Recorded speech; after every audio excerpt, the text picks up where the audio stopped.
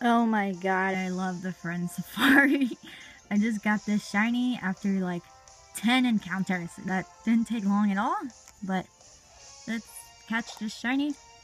And I hear some people don't have that much luck on the Friend Safari. I guess I'm just having good luck.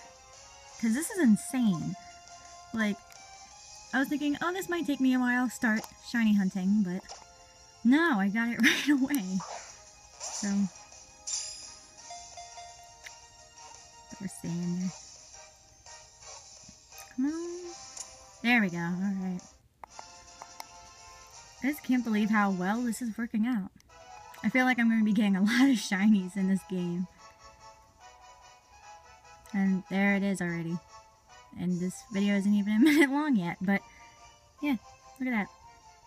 Uh, so, if you guys want a shiny hunt and you have Pokemon X or Y, I suggest using the Friend Safari once you beat the game, because clearly it's working pretty well for me, so hopefully it'll work well for you.